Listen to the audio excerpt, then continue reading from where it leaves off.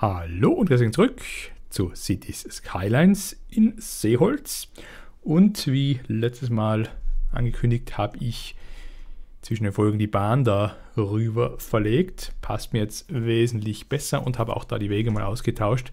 Bin mir noch nicht ganz sicher, aber ich glaube, wenn es dann begrünt ist, schaut es, glaube ich, ganz nett aus. Kommt dann hoffentlich auch bald mal. Wie gesagt, in der Zeitrafferfolge werde ich vermutlich bündeln dann mit dem Bau des Flusses, da wo ich ja letztes Mal gesagt habe, den möchte ich bis da runter führen zum großen Fluss. Und dieses Mal werden wir, glaube ich, die Stadt noch etwas ausbauen. Hier haben wir ja Endstation für die Monorail. Ich glaube, ich werde sie noch versuchen, ein Stückchen weiterzuführen und hier noch eine Station zu machen. Die Endhaltestelle. Und da haben wir ja auch noch nicht ganz überlegt, was wir mit den zwei da machen, aber ich denke, die können wir da auf die Insel führen, da hinten irgendwie rum und ja, mehr oder weniger so einen Ring draus machen. Müssen wir noch schauen. Aber fülle ich mal das hier auf und ich werde versuchen, beim Baustil, den wir dann hatten, zu bleiben mit grünen Straßen, also viel Begrünung und zwischendrin diesen schmalen Einbahnstraßen. Finde ich eigentlich nicht schlecht, weil man auch da dazwischen eben schön viel begrünen kann. Aber mal so das grobe, das grobe Ganze. Äh, was haben wir hier für einen Straßentyp? Ist das der hier? Ich meine. Na, wenn ich auch den richtigen anklicke, dann hätte man auch den richtigen. Genau. Das ist gut. Und hier hat man auch den hier auf der Brücke. Der Brücke schaut ja etwas anders aus, aber fahren wir da mal so weiter. Und die Frage ist eben, wie weit raus wollen wir bauen? Denk mal hier in etwa, wenn wir die Straße für die Breite und dann noch zwei, drei Häuser rein darüber und dann ist gut. Also irgendwas mag da gerade nicht so wie ich. Jetzt aber. So in etwa. Da geht es dann wieder zurück.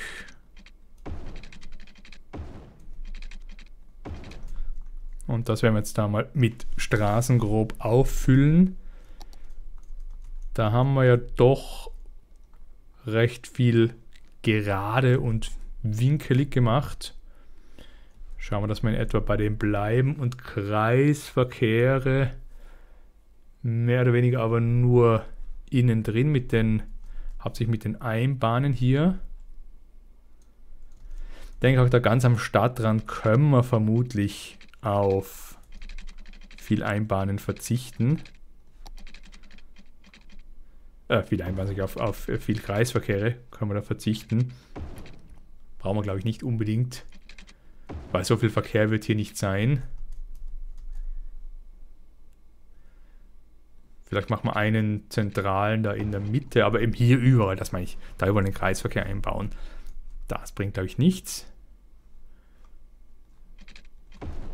Machen wir doch hier einen hin.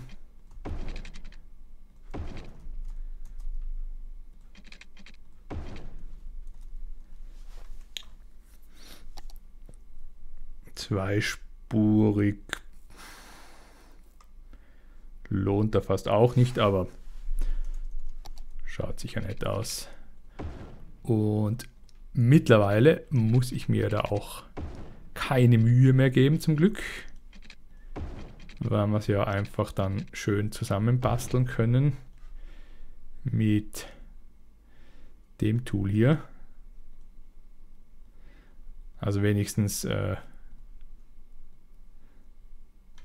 so, dass es nicht ganz so schlimm ausschaut.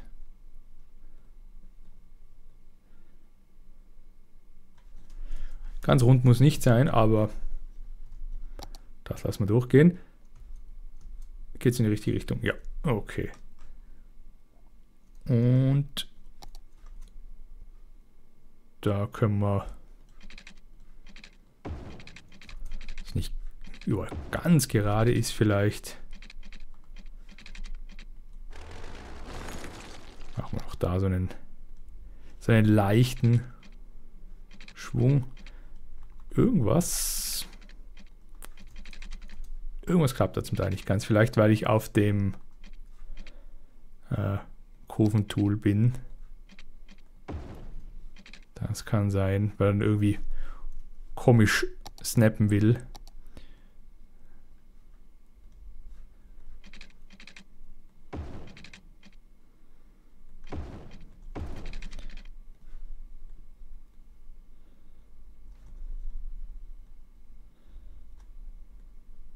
Ah, hier ist, glaube der Punkt, genau. durch die falsche Straße erwischt, aber das kann man zum Glück upgraden. Und hier kann man auch leichten Bogen reinmachen. Gut, dann brauchen wir noch ein paar Einbahnstraßen.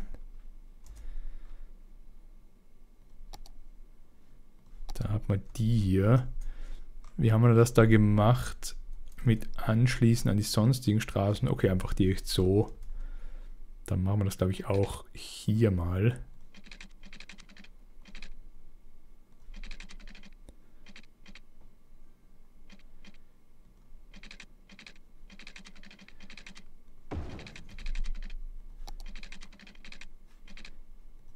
So. Schauen wir, dass wir da einen Kreisverkehr hinbekommen. Wie viel Abstand haben wir da ungefähr genommen, sodass eine Häuserreihe Platz hätte? Also so, das denke ich passt. Also nicht, dass wir da Häuser, kriegt dann das falsche Tool, nicht, dass wir da Häuser reinmachen, aber rein als Orientierung mal.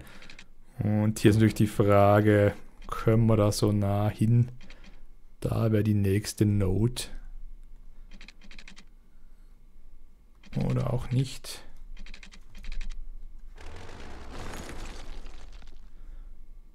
Aber wir können schon auch alternativ, vielleicht wäre es eine breite Straße, es geht nicht so gut, alternativ ein kleines Stückchen so rausfahren. Und dann einfach da so rein.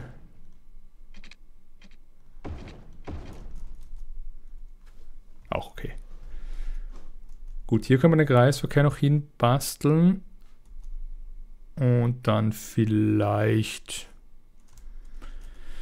da brauchen wir noch irgendwas, einfach, dass es dicht genug wird, dass wir überall bebauen können. Natürlich auch wieder mit Innenhöfen, aber ich glaube, hier fahren wir dann auch einmal runter. Da können wir dann das gleiche Spielchen machen. Da die Frage, können wir da ran, ohne Großsachen kaputt machen. Oder groß verschieben vielmehr. Also klein wenig können wir verschieben. Ja, da haben wir einen Kreisverkehr. Da haben wir sogar etwas mehr Platz gelassen. Schaut wirklich nach mehr Platz aus. Aber sonst, wir können sie immer noch verschieben. Ich probiere hier jetzt vielleicht doch mal ein bisschen großzügiger zu sein.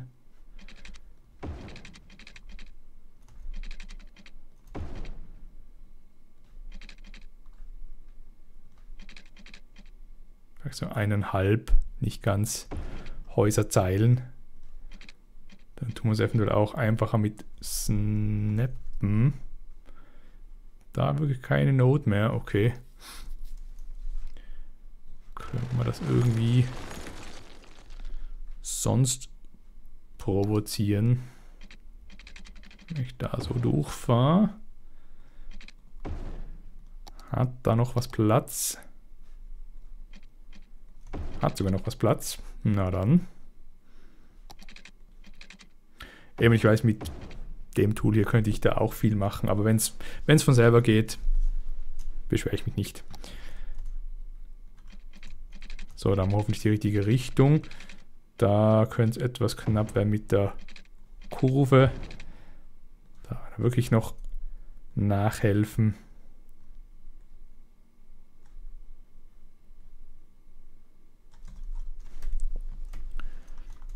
Macht einen leichten Linksknick da davor. Ganz so schlimm, aber wenn wir schon beim Korrigieren sind,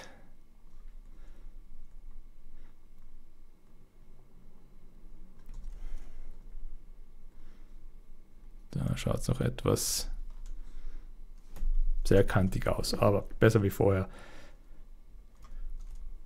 Gut. Da soll es dann dicht genug sein. Hier, glaube ich, braucht man nicht drüber fahren, wobei wir könnten mit, mit einer normalen Straße hierher fahren.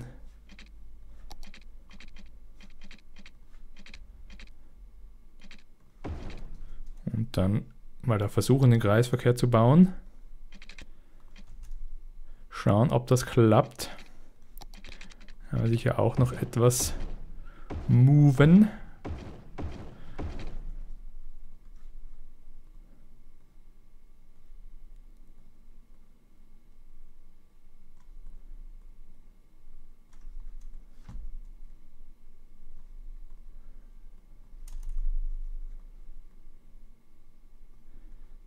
So.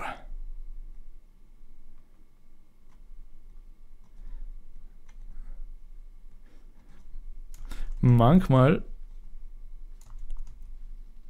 hier kann ich nicht klicken, hier kann ich nicht klicken. Manchmal weigert sich etwas. Dann wo immer da mal nachzuhelfen.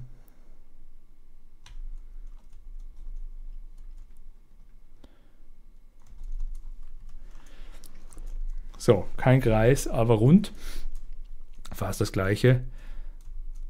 Und da gleich mal denselben Trick wieder drüben, Stückchen von der Straße. Und dann einfach so.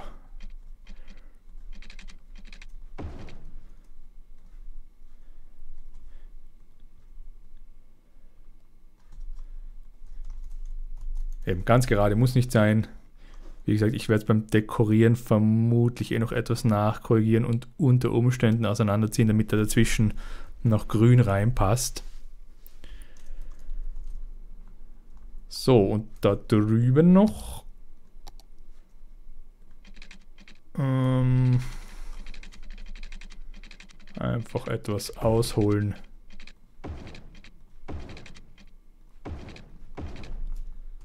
Daran, genau. Und hier könnte man auch mal für etwas Abwechslung sorgen. Kann man mit denen hier Brücken bauen? Nein, leider nicht. Dann gibt es da eine Brücke. 12 Meter, muss jetzt nicht unbedingt sein. Was ist das kleinste, wo geht? Und vernünftig ausschaut. Da ist gut.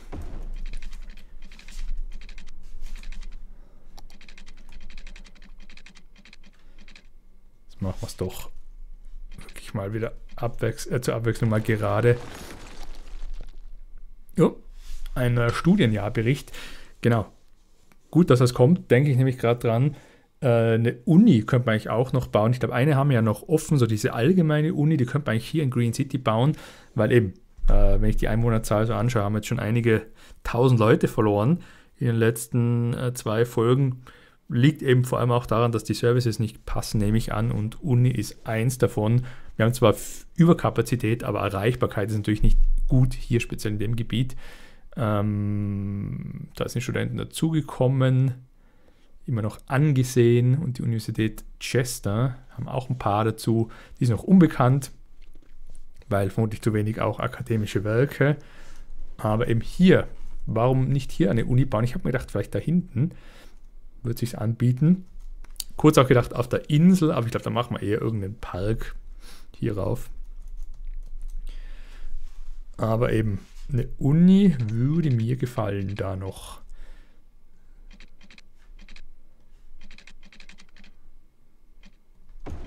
So, und hier dann einfach runter.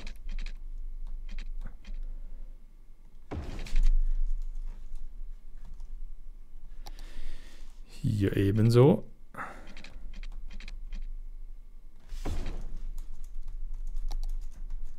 Und dann machen wir es wieder so. Weil die nur noch zum Prüfen, die geht ja auch nicht. Genau, da kann man auch keine Brücke machen. Nein. Die ganzen schmalen, wenn ich mich richtig erinnere, kann man keine Brücken machen. Nein, nicht so schlimm. Wie schaut es da hinten aus? Da könnte man echt direkt probieren rausfahren. Wenn wir Glück haben mit den Nodes heißt das.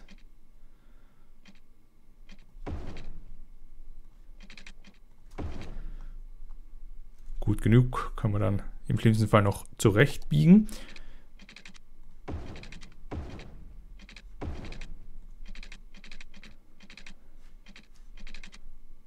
So. Das schaut doch mal nicht so schlecht aus. Haben wir noch einige größere Lücken.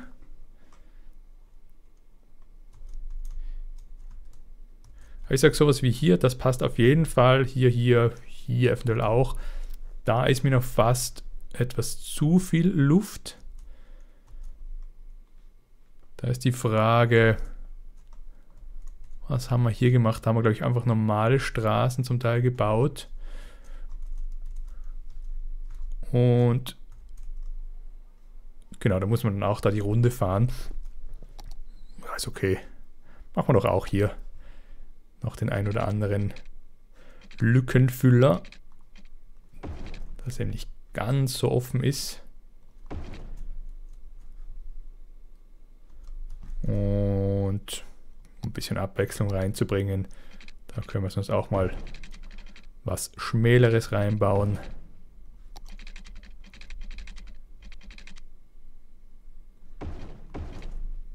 Bin ich jetzt auf Nacht gegangen.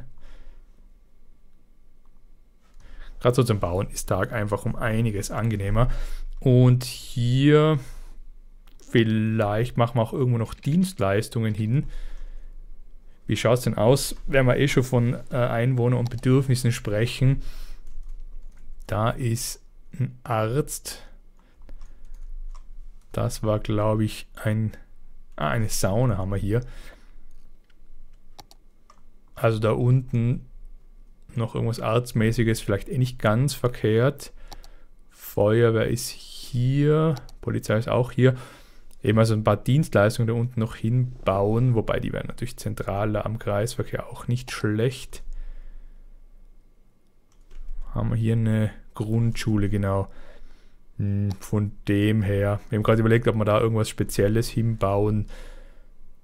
Vielleicht irgendeinen Park. Mal schauen, vielleicht finde ich irgendwas. Aber ich glaube, für den Moment werden wir, denke ich, ungefähr nach dem Vorbild von hier mal versuchen, da Zonen zuzuweisen, aber vorher vielleicht noch das Gebiet erweitern. Sollen wir da einfach Lindenpark übernehmen? Ich denke ja. Brauchen wir, glaube ich, kein eigenes Gebiet machen. Können auf jeden Fall dieselben Regeln gelten. Und hier haben wir ja das ähm, ohne, wie war das? Ohne hohe Gebäude, glaube ich, haben wir das hier. Das könnte man theoretisch da auch weiterziehen. Und einfach sagen, hier ist die, die Grenze. War nicht ganz super elegant, dass das dasselbe, dasselbe Gebiet ist. Aber bin jetzt gerade zu faul, ehrlich gesagt, ein zweites zu machen. Das ist auch so eine Aufräumaktion für dann irgendwann mal später. So, hofft, das ist kein Problem, wenn wir das an der Straße so entlang ziehen. Ich hoffe dann auf der Seite, wenn da was gebaut wird, ragt das nicht irgendwie so komisch rein und dann entstehen hier keine großen Gebäude. Wobei, wenn ich mir die hier anschaue, da ist der Unterschied auch nicht besonders riesig, einfach weil die auch noch nicht maximal ausgebaut sind, nehme ich an. Und die Erdbeerhöhen, warum gehen die auch da rein? Bin mir gerade gar nicht sicher, warum das hier so aufgetrennt haben. Aber ich denke, das machen wir eher so. Lassen wir das da hinten verschwinden. Und dann ist... Hm, das war noch zu wenig groß. Ja, jetzt aber. Dann ist das außenrum das ja, niederbebaute Gebiet und das ist nämlich das hochgebaute und das können wir dann eben noch ausblitten, wie gesagt. So, jetzt Zonenzuweisung. Hauptsächlich denke ich Wohngebiet, vielleicht irgendwo dazwischen drin können wir ein paar Geschäfte machen, das ja, aber ansonsten hauptsächlich Wohnen. Sollen wir es einfach komplett bebauen? Hier haben wir immer etwas, genau, hier haben wir immer etwas Luft dazwischen gelassen. Ich denke, das werden wir da auch versuchen. Also wie hier, da ist sowieso mm, okay. Also da wird vermutlich nichts hingebaut. Da wäre genug Luft, aber ich glaube, ich mache es trotzdem dann in dem Fall so. Äh, was ist da die Parzellengröße? Ich glaube, das größte, was wir da haben, ist 4x4.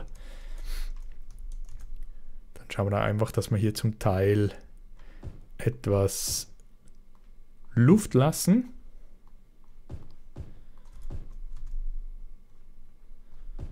Also mindestens, denke ich, ein Feld. Wir auch zwei. Das machen wir es von mir aus so. Wird natürlich jetzt etwas Kleinarbeit, aber lohnt hoffentlich, wenn es eben nicht so dicht an dicht alles steht. Da haben wir wieder zwei Abstand lassen. Das können wir eigentlich auffüllen. Ich denke, das können wir auch auffüllen. Hier machen wir mal schmälere. Hier wird was breiteres. Gut, sonst fange ich glaube ich eher hier an, weil dann verteilt sich der Strom auch passend. Oder ist das noch im, na, wird knapp. Dann werden wir vielleicht für den Moment irgendwie versuchen, etwas nachzuhelfen, um mal da einfach Strom reinlegen, damit einfach hier schon ein paar Häuser entstehen können. In der Hoffnung, die Leute wollen überhaupt hierher ziehen. Ist ja auch nicht gesagt. So, ah ja, da kommt das erste, super. Das füllen wir auf.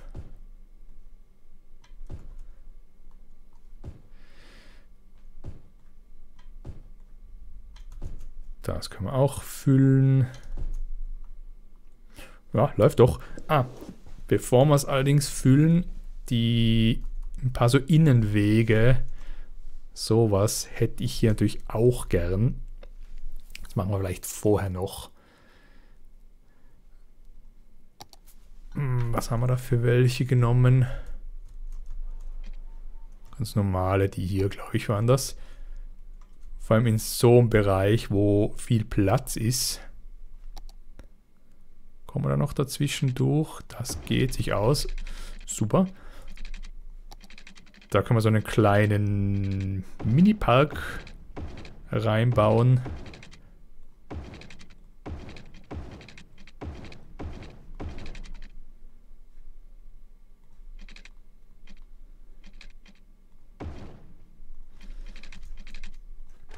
Vielleicht die Zugangswege vorher hilft.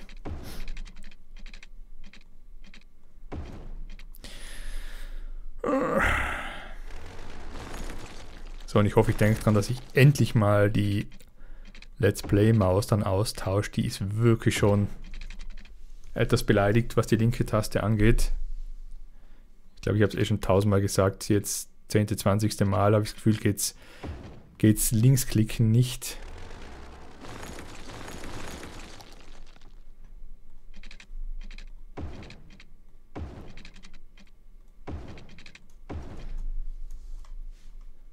So, hier haben wir zum Glück etwas mehr Platz gelassen. Da könnten wir uns auch noch versuchen durchzuschummeln.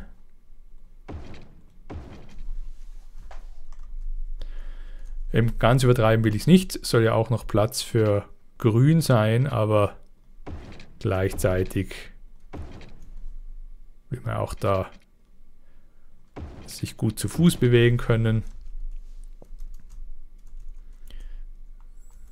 Hier haben wir es zum Teil eh etwas vernachlässigt, vielleicht auch etwas, weil ich natürlich beim, beim Dekorieren dann noch nachholen kann.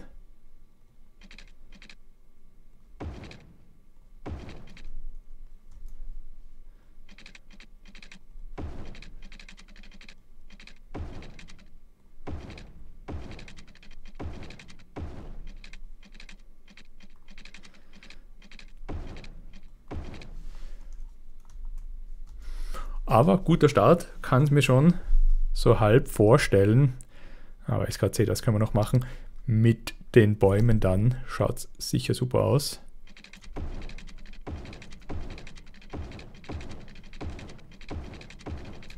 Die obligatorischen Rohre unter den Straßen.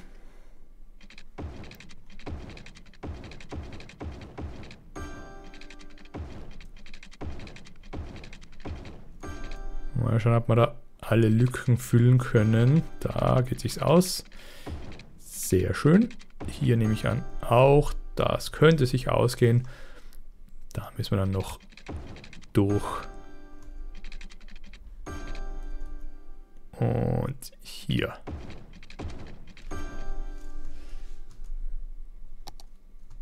So. Alles die gleichen Häuser.